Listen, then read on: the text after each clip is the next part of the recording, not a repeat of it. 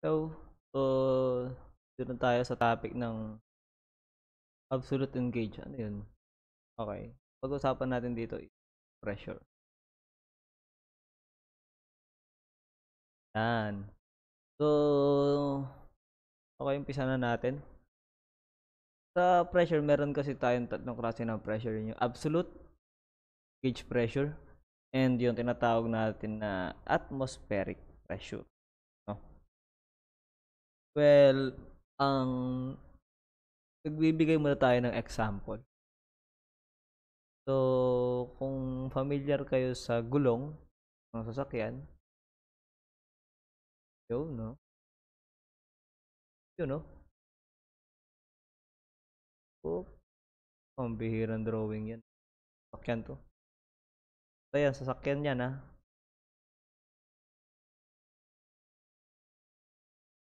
Sasakyan yan. O kontra. Okay. so, ito yung lupa. Sahig. Tapos, meron ditong bundok. Yan. Papunta siya doon.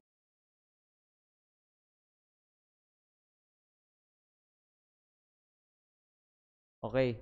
Well, ang absolute pressure, yan yung kabuuang pressure. Okay? Kabuuan, ibig sabihin, so yun na yun, sinabi ko na.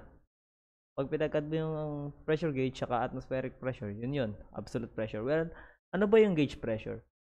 Gauge pressure, yun yung pressure dito, sa loob ng gulong. Okay? Yun. Yung pressure dyan na nararamdaman, okay? Yan yung gauge pressure. So, dito sa case ng gulong, ito ay positive pressure. Hindi siya vacuum dahil meron siyang hangin sa loob. Okay? Yan yun. Then, ano naman yung atmospheric pressure? Atmospheric pressure is yung pressure na nararamdaman natin, uh, nasa paligid natin. Hindi lang natin nararamdaman talaga.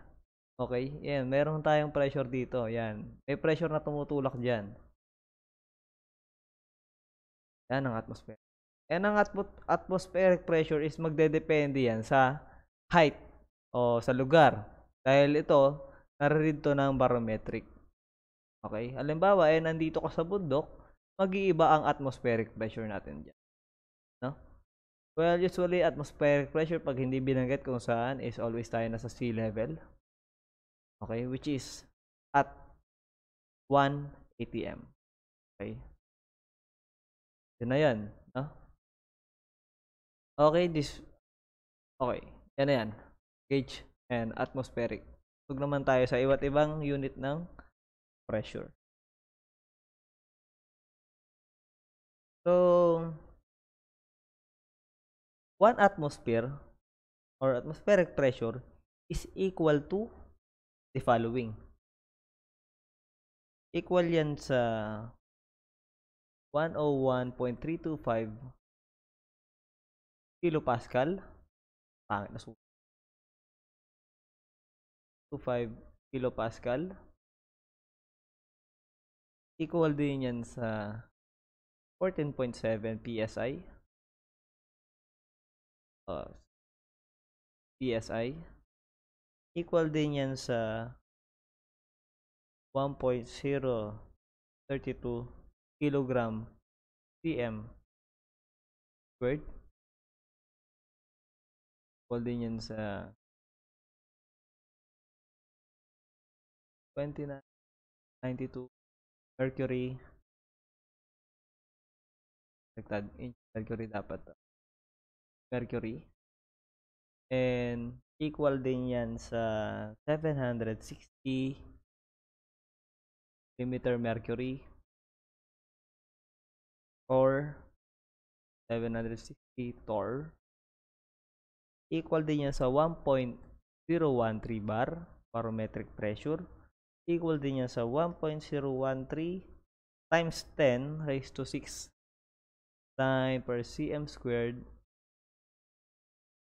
and yan No? Marami pa. Well, equal yan sa force Oops, bakit degree Fahrenheit? Force over area.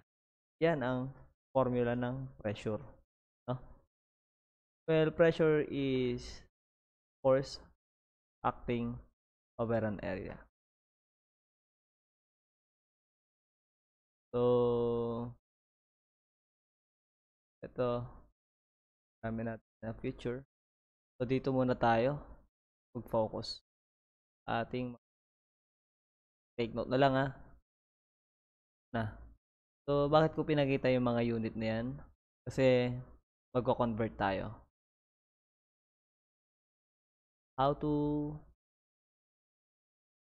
to convert pressure. so, example tayo.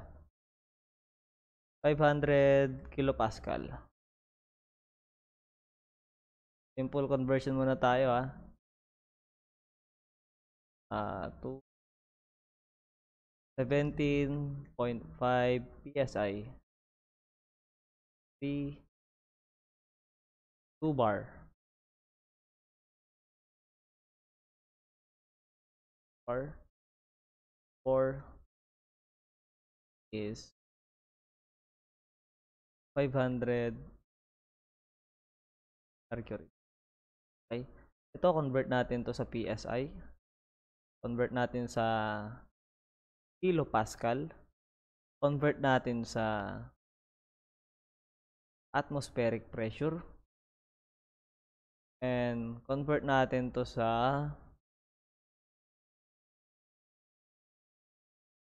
okay, sa inches. Is mercury. Okay? Yan.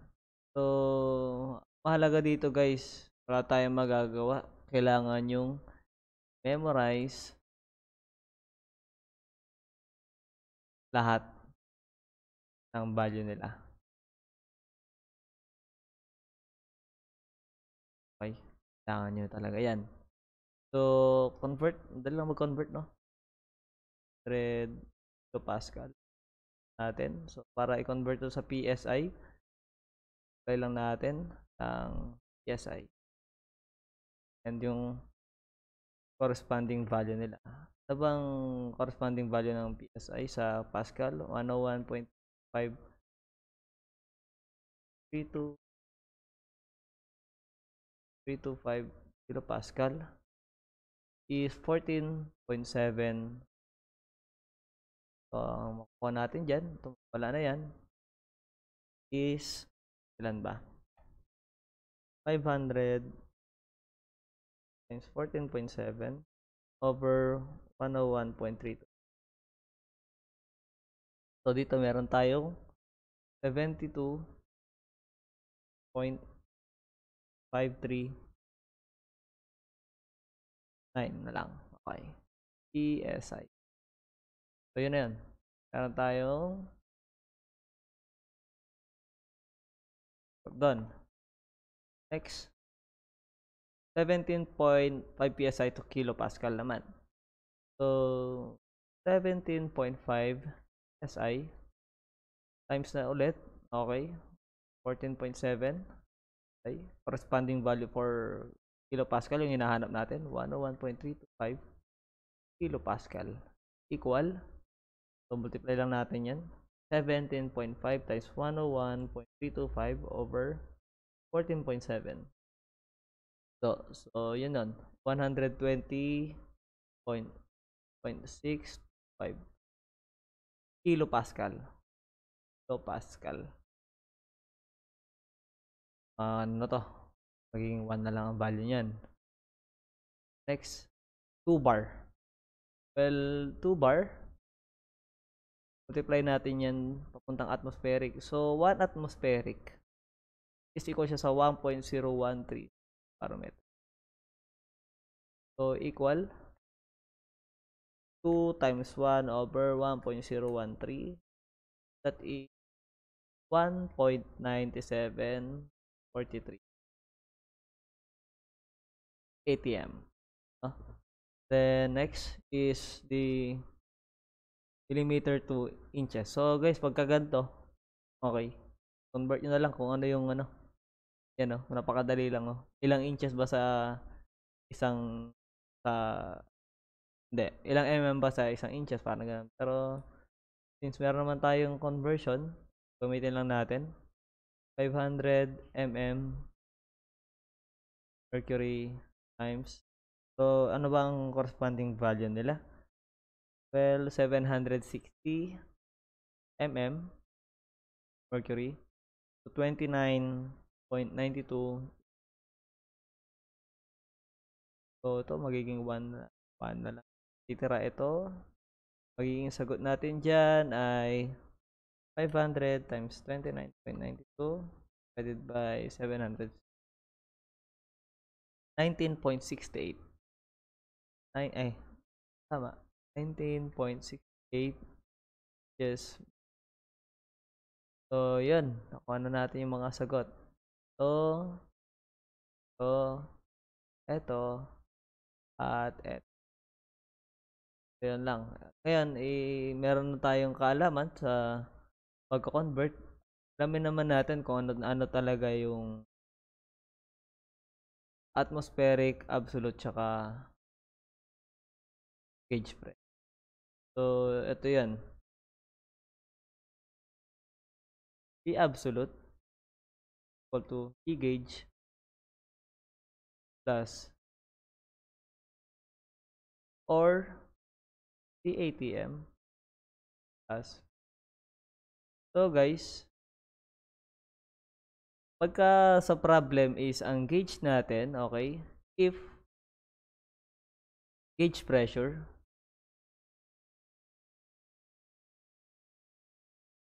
is at vacuum, then consider the value of the pressure as negative. So, P abs now equal to P ATM P back. Ganyan na siya. No? So, magkabit tayo ng example. Problem eh. Find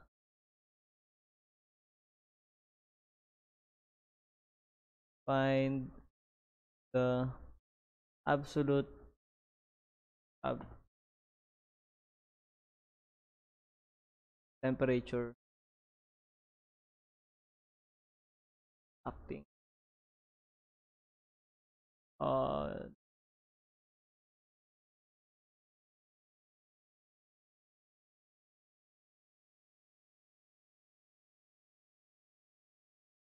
having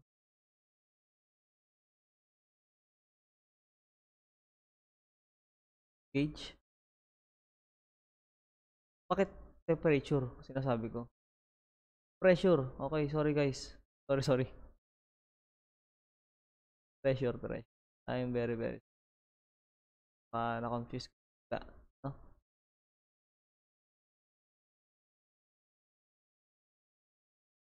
absolute pressure. Acting on the ball. Having gauge pressure of 150 kilopascal okay so yan so meron tayong bola meron daw nag-act na pressure sa loob niya na uh, 150 kilopascal So, wala namang sinabi sa problem. So, considered natin na itong bola nasa sea level. Okay? Which is, ang atmospheric pressure natin ay equal siya sa 1. So, sinabi ko kanina, kailangan alam natin yung conversion yan. Well, 1 atmospheric pressure is equal siya sa 101.325 kilopascal. No? So, absolute pressure ang hinahanap. So, P abs now is equal to P ATM minus or plus gauge. Depende. Uh, so, in this case, uh, positive pressure siya. Dahil wala namang sinabing vacuum. Saka makita ng bola na vacuum, di ba? So, absolute pressure now is equal to atmospheric, which is 101.325 plus, well, the gauge pressure is given, which is 150 kilopascal.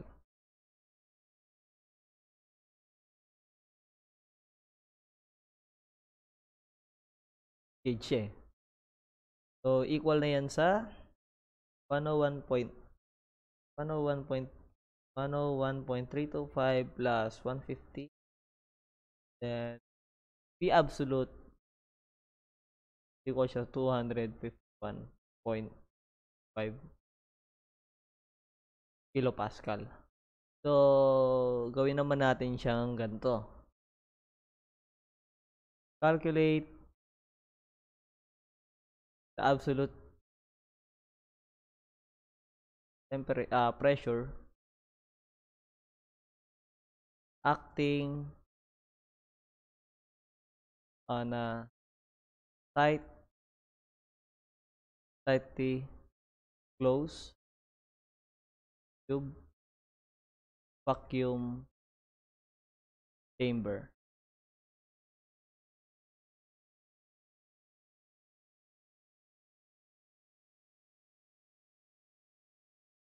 given evac equals equals to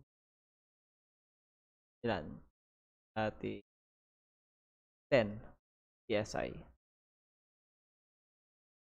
So, pag ganyan, sa English system tayo. So, P absolute, drawing muna natin.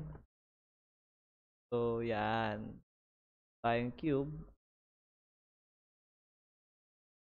Pag meron tayong cube na merong vacuum pressure. So, paano yun? Pahigop. Papasok. Papasok. Then, yung pressure na, nag, na nandito sa labas, yan yung atmospheric pressure. So, P absolute now is equal siya sa PATM plus or minus P gauge. Okay, in this situation, negative tayo dahil sa vacuum siya. So, P absolute now is equal sa 1 ATM is equal siya sa 14.7 PSI minus 10 PSI.